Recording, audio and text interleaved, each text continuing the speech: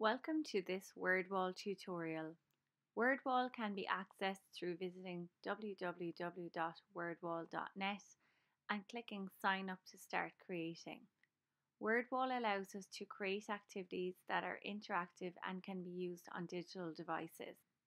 I'm going to click create activity to get started and then I'm going to choose a match up activity type. Here I'm going to be creating an activity based on novel vocabulary where the children will have to match a keyword with its definition. I need to insert all of the keywords and insert the definitions and then WordWall will make it into an interactive game for me. I need to have at least three rows to make my activity so I can click plus add an item to add further lines and I can have up to 30 rows in this activity.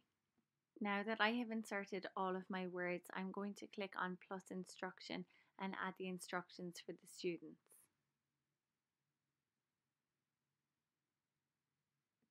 When my activity is ready, I can click done and this will give me a preview of how the activity will look to the students. By clicking start, I can see how the game works and I can demonstrate this to the students on the interactive whiteboard, for example. Students will have to click submit answers on some of the activities. I can quickly change the look and feel of the game by clicking on a new theme and then when I press start again I'm going to get a preview of how this will look to students.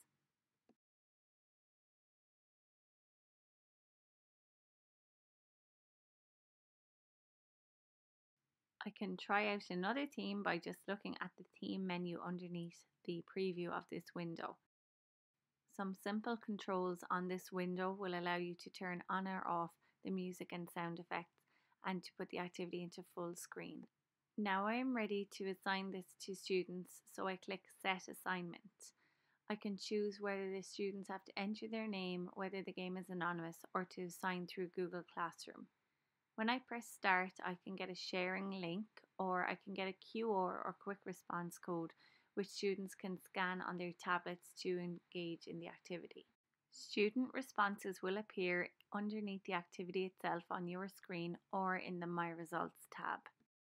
Activities that you create are automatically saved and you can find them in the My Activities tab.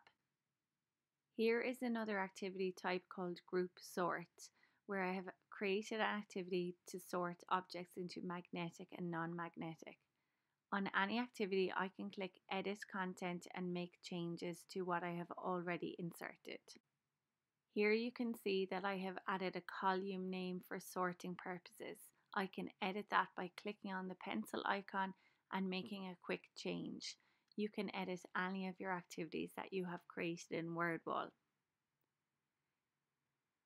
Here I'm going to add another item just to show you how you can add pictures to your word wall activities. I type the word that I want to look for, then I click the image icon and it will automatically search for that image for me. I just click to insert. I can also insert audio prompts for students. Simply click on the speaker icon and WordWall will predict the word that you want to insert. Scissors.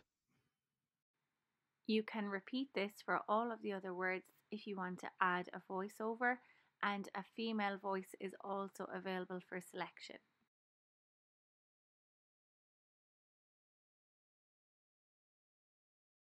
Once again, we can just press done to get a preview of this updated activity. Now we will see a sound icon above many of the images. If you wish, you can change the template that is used for the activity and this will change how some of the activities work.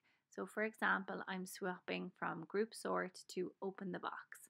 We'll see here that it is a different style activity using the same content that I have already put in. I can click my activities each time I want to see all of the activities I have created or saved. Here is an example of an activity for the junior classes or for EAL students. In this activity, we are looking at a matching pairs style activity where children will have to match a picture to a word. I can use WordWall to provide various levels of scaffolding and differentiation by editing the content to suit the needs of my learners. To create an activity like this, I'm choosing matching pairs. I'm then going to insert my title and first I'm starting out with just putting in the keywords.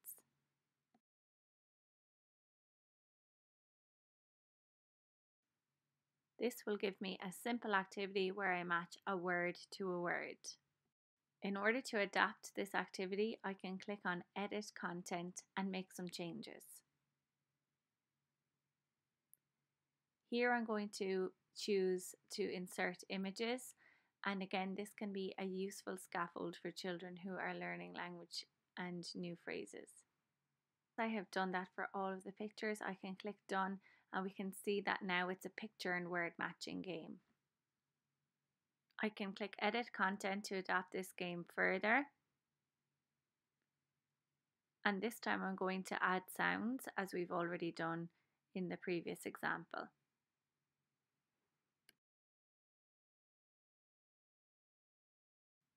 Now as the pairs are turned over, the word will be read aloud. In order to make another adjustment to the game, I can click edit and now I'm going to choose pairs of different items. I'm going to move the words onto the second column so that this time the children will be matching the picture to the word on separate cards.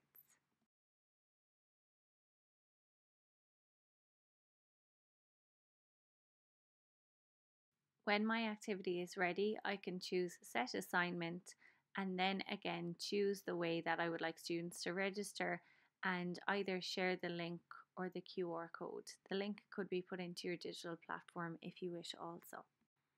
Any further edits can be made from the My Activities tab and by choosing the three dots and seeing the More Options menu. Other teachers have contributed to the WordWall community and here you can search for activities created by other educators that you can use with your students. Simply put in a search term and then you will see some results. Here you can get a preview of the activity. You can like it if you want to and bookmarking will put it into your activities library for later and you can also use an assignment exactly as it is and set it then and there. If you wish, you can also edit an activity that has been created by another teacher.